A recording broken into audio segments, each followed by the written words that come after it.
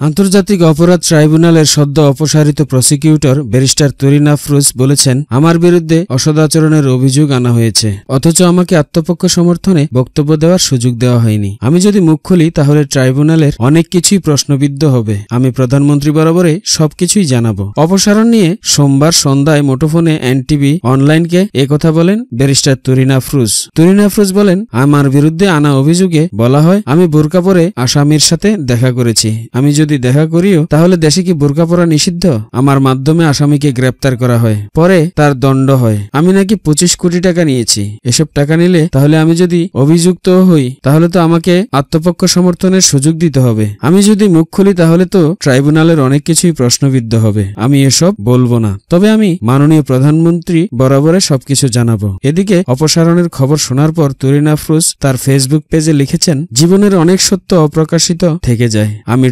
ট্রাইব্যুনালের প্রসিকিউটর হিসেবে থাকি বা না থাকি, আপোষহীনভাবে একাত্তরের যুদ্ধাপরাধের বিচার চাই। এই বিচারের দাবিতে অনেক আন্দোলন আমি করেছি, রাস্তায় মার পর্যন্ত খেয়েছি। আমার এবং আমার মেয়ের জীবনকে ঝুঁকির মুখে ফেলেছি। তবে আপনাদের ভালোবাসা পেয়েছি, দোয়া, শ্রদ্ধা ও সম্মান পেয়েছি। আপনাদের সকলের কাছে আমার ও আমার মেয়ের কৃতজ্ঞতা রইল। শুধু জানবেন, আমি শতভাগ সততা দিয়ে প্রসিকিউটর হিসেবে আমার দায়িত্ব পালন করেছি। জয় বাংলা, জয় বঙ্গবন্ধু। শৃঙ্খলা ও পেশাগত আচরণ ভঙ্গ এবং গুরুতর অসদাচরণের দায়ে ব্যারিস্টার তুরিনা ফ্রুজকে সোমবার আন্তর্জাতিক অপরাধ ট্রাইব্যুনালের প্রসিকিউটর পদ থেকে অপসারণ করা হয়। আইন মন্ত্রণালয় থেকে জারি করা প্রজ্ঞাপনের মাধ্যমে এই বিষয়টি জানানো হয়। আইন মন্ত্রণালয়ের উপ solicitor S M Nahida Naznin স্বাক্ষরিত প্রজ্ঞাপনে বলা হয়, শৃঙ্খলা ও পেশাগত আচরণভঙ্গ এবং গুরুতর অসদাচরণের দায়ে ব্যারিস্টার তুরিনা ফ্রুজকে ট্রাইব্যুনালের প্রসিকিউটর পদ থেকে অপসারণ করা হয়েছে। দুই হাজার তেরো সালের বিশে ফেব্রুয়ারি রাষ্ট্রপতির আদেশক্রমে ব্যারিস্টার তুরিনা ফ্রুজকে আন্তর্জাতিক অপরাধ ট্রাইব্যুনালের প্রসিকিউটর হিসেবে নিয়োগ দেওয়া হয়। কিন্তু শৃঙ্খলা ও পেশাগত আচরণভঙ্গ এবং গুরুতর অসদ আচরণের দায়ে ব্যারিস্টার তুরিনা ফ্রুজকে ট্রাইব্যুনালের প্রসিকিউটর পদ থেকে অপসারণ করা হলো। এর আগে একাত্তরের মানবতা বিরোধী অপরাধ মামলার আসামি জাতীয় নিরাপত্তা গোয়েন্দা সংস্থা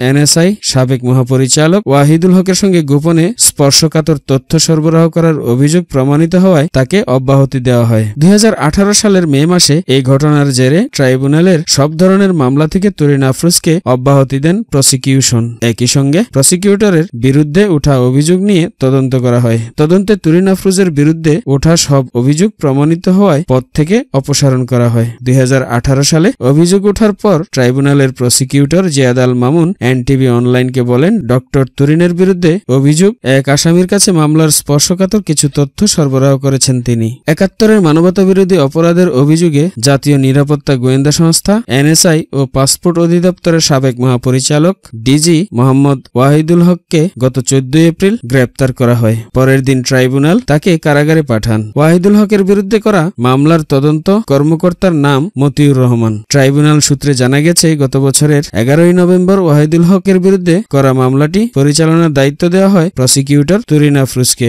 এর এক সপ্তাহ পর তিনি ওয়াহিদুল হকের সঙ্গে মোবাইল ফোনে যোগাযোগ করে সাক্ষাৎ করতে চান। তাকে যে কোনো দিন আটক করা হতে পারে বলেও তিনি কথোপকথনের সময় জানান। প্রথমে নির্ধারিত হয়, উনিশে নভেম্বর সন্ধ্যায় মোহাম্মদ ওয়াহিদুল হকের গুলশানের বাসায় তাদের সাক্ষাৎ হবে। এ সময় ডক্টর তুরিন আফরুজ জানান, সহকারী ফারাবি বিন জহির অনিন্দকে নিয়ে স্বামী স্ত্রী পরিচয় বোরকা পরে তারা দুজন ওয়াহিদুল হকের বাসায় যাবেন। পরবর্তী সময়ে সাক্ষাতের স্থান পরিবর্তন হয়। তারা গুলশানে অলিভ গার্ডেন নামে একটি রেস্তোরাঁয় সাক্ষাৎ করেন। এ সময় তারা প্রায় তিন ঘণ্টা মামলার নথিপত্র নিয়ে আলোচনা করেন। তখন মোহাম্মদ ওয়াহিদুল হককে তরিন আফরুজের সহকারী ফারাবি বলেন, আপনি যে পদে ছিলেন, তাতে তো বিশ থেকে পঁচিশ কোটি টাকা এমনিতেই ক্যাশ থাকার কথা। এ সময় ওয়াহিদুল হকের বিরুদ্ধে আনা অভিযোগ এবং তাকে গ্রেপ্তারের আদেশের অনুলিপি নিয়েও আলোচনা হয় বলে জানা গেছে। ট্রাইব্যুনালের তদন্ত সংস্থা জানায়, ওয়াহিদুল হক মুক্তিযুদ্ধের সময় পাকিস্তান সেনাবাহিনীর সদস্য ছিলেন। উনিশশো চুয়াত্তর সালের ডিসেম্বরে দেশে ফিরে দুই বছর পর পুলিশে